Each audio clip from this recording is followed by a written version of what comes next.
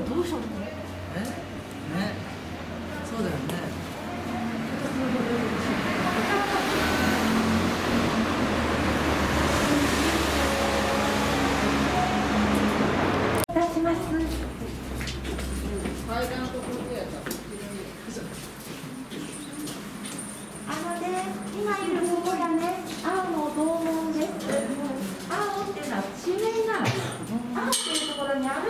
ある銅門だから青の銅門ね。はい。で、前回さんは一人で6年間そこから掘り始めます。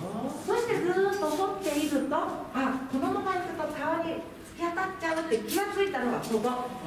前回王子を掘り違いの跡というところ。